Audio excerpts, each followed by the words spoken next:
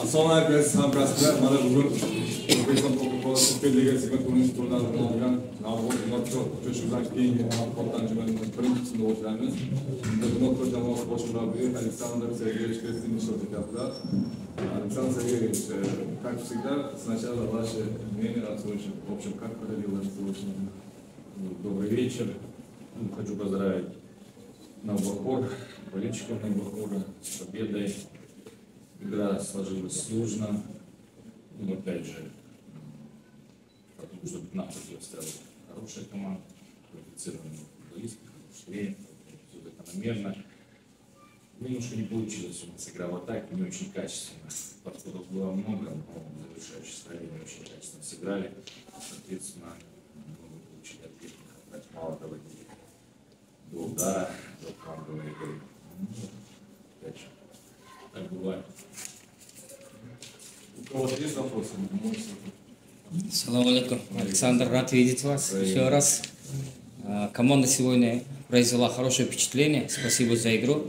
Мы сегодня видели, что Бунyatkor не отсиживался в обороне, стремились играть в футбол, но в завершении что-то не хватало, действительно. С чем, да, с чем это было связано? Там э, психологический фактор или же вот игроки пропускают из-за желтых карточек или травмы?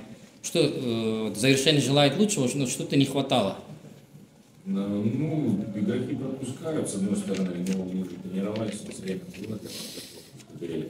И именно те футболисты, которые готовились к этой игре, отрабатывали все возможные варианты. Почему? Ну, надо посмотреть, сделать анализ. Потом что говорить. Так сразу после игры не скажу, но ударов было наоборот. Очень логичные решения принимались. Опять же, почему? тренировки было по-другому. Будем разбираться, на время. Мало то, что мало так. Подходы были, с мячом были, но не очень сложно. к сожалению. у кого-то есть еще вопросы В команде легионеры играют, да? Вы вообще вот довольны со- с, вообще составом команды, с легионерами там?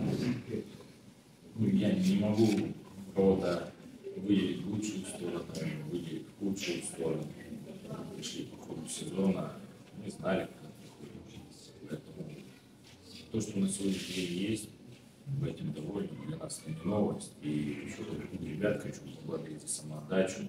Да, ну, что-то получилось, что-то нет. Я ни про кого не скажу, хорошо, ни плохо. В тренировках ребята делают хорошо. уже сезон заканчивается два тура остался ваше мнение о нынешнем сезоне в была в том клубе да в том клубе. но все-таки в том клубе по сравнению с том клубе что можете там